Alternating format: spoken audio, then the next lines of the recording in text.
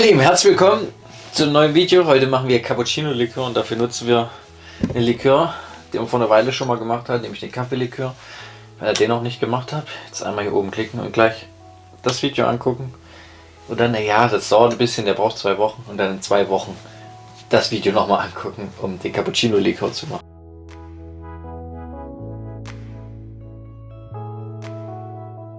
Für den Cappuccino-Likör brauchen wir 200 Milliliter Sahne, 200 Milliliter Milch, 100 Milliliter Kaffeelikör, 50 Gramm Zartbitterschokolade, 10 Gramm Vanillezucker und 30 Gramm normalen Zucker. Machen wir als erstes uns dran, die Schokolade zu schmelzen. So, vorm Schmelzen schneiden wir die Schokolade und mal schön klein.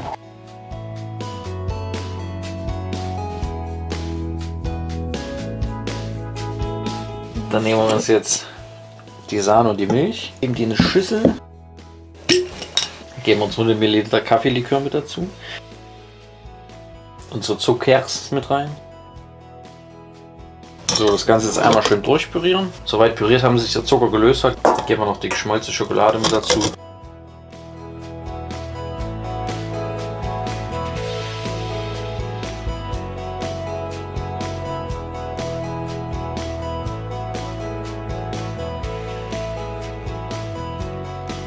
So, der Cappuccino-Likör, den könnt ihr jetzt so etwa zwei Wochen im Kühlschrank aufheben. Dann sollt ihr getrunken haben und vor jedem Trinken einfach nochmal schön durchschütteln.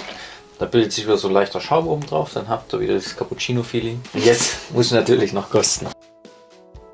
Dann verkosten wir das Ganze nochmal. Ja, ist auf jeden Fall sehr lecker, sehr cremig im Mund. Schmeckt wie kalter Cappuccino, also eigentlich alles das, was wir wollten. Macht es unbedingt nach, probiert es aus. Schreibt mir in die Kommentare, wie ihr es gefunden habt. Und dann müsst ihr eigentlich jetzt nur noch den Abo-Button drücken, um kein weiteres leckeres Likör-Video zu verpassen. Wie dieses Likör-Video hier oben, was bald kommt. Und ansonsten bis zum nächsten Video. Tschüss!